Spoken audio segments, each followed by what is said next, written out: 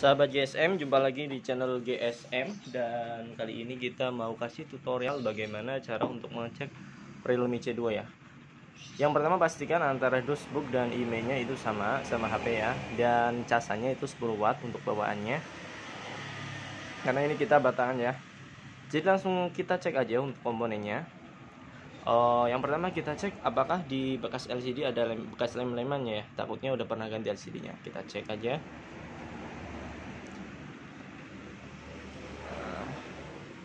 Nah ini udah kelihatan ya dia bekas ganti LCD-nya nah ini.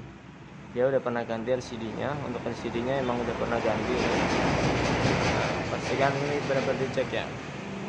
Oke LCD-nya udah pernah ganti. Kalau untuk warnanya emang hampir sama sama yang ori. Hampir sama sama yang ori untuk warnanya. Terus terang aja. Oke untuk selanjutnya kita tes untuk di sini nih manajer telepon ya. Manajer telepon pemeriksaan komponen deteksi sekarang mulai. Nah ini ramnya yang dua ya. Dua tiga dua aja nah kita cek untuk sensor proximity nya oke masih oke ya? Dia masih oke untuk sensor proximity nya kita lewati.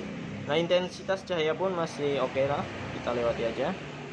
Nah, sensor gravitasi dia error nggak masalah, karena kalau sensor gravitasi harus diletakkan seperti ini ya, jadi harus tempatnya rata.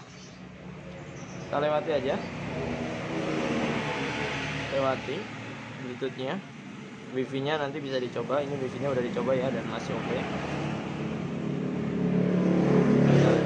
charger nanti charger tinggal dicolokin aja dicoba nah ini kita mulai untuk cek tombolnya ya tombol oke. Okay. oke okay ya tombol masih oke. Okay. normal. Nah ini kita menguji untuk LCD nya pastikan ketika disentuh dia berubah angkanya ya.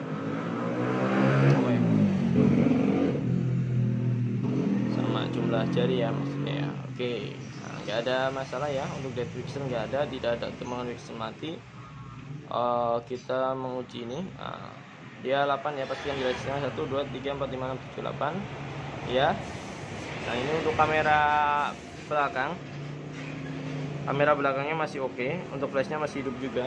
Tuh. terus untuk kamera depannya oke okay, masih oke okay juga sih. Oh, masih lumayan lah. Masih oke. Okay.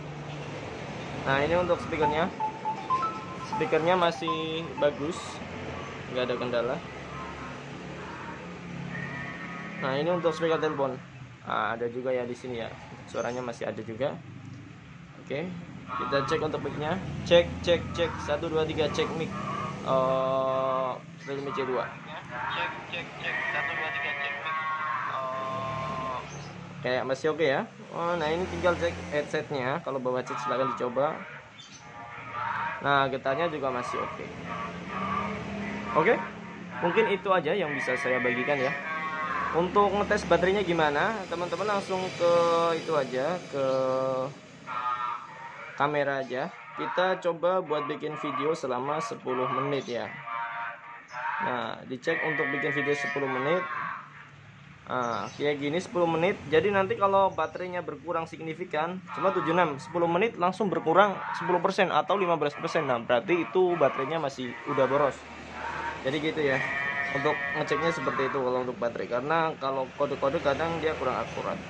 Oke, mungkin itu aja ya yang bisa saya bagikan dan sampai jumpa di video selanjutnya dan salam GSM. Oke. Ada bakal ada tukang tahu.